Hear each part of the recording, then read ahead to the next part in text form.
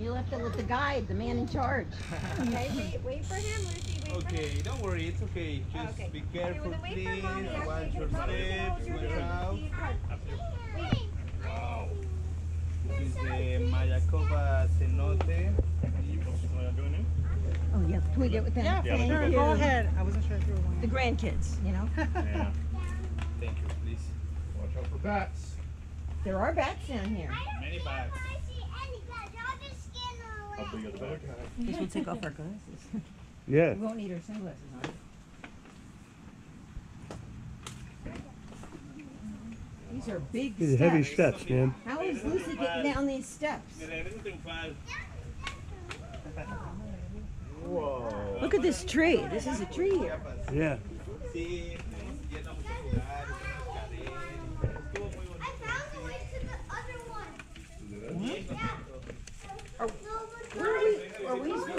Walk around out here? Yeah, I guess just check it out.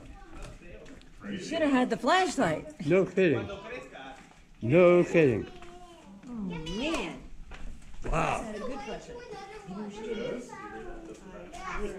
Wow. What is this down here? Oh, look at the water here. Yeah. Hola amigos, He's this got a flashlight. cave. Okay, come over. Look, the man's telling us. That that way is the connection to other cenotes. All the cenotes are connected in the Yucatan Peninsula. All of them, more than hundreds and hundreds of cenotes. Yes, sir. Yes. Many underground rivers, and the cenotes are just access points to the rivers, to the underground rivers.